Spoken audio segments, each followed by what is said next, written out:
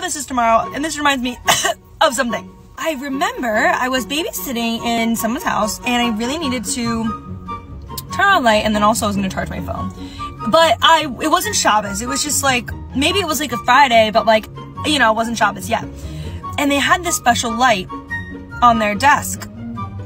And when I tell you that for the life of me, I could not figure out how to get it to work, I found out this is a Shabbos lamp.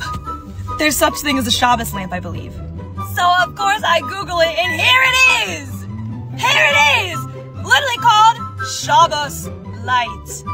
Shabbos lamp. Literally, like, I googled this and I watched the video and read the reviews on how to use this thing because when I tell you, I'm like, I'm a techie person. Like, I'm not dumb. I could not figure out how to use it. I was like, where does this thing turn on? Where's the power?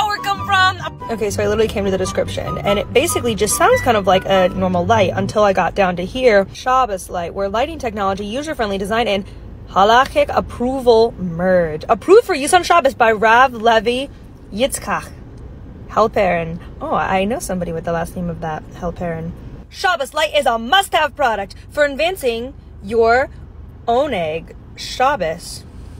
I don't know what that means, but I'm just a little confused. Sure, they had like a camera in their house because, like, I don't know, I have a camera in my house. Like, everyone has cameras in their house these days, and they were probably like, What is this girl doing? I'm like, I just need to charge my phone.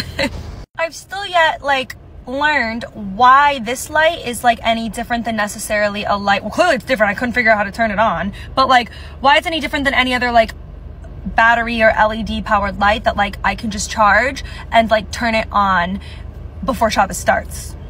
I feel like there's plenty of lights out there like that, right? But why is this one specifically like Shabbos light approved by Rabbi? I love it. I love it.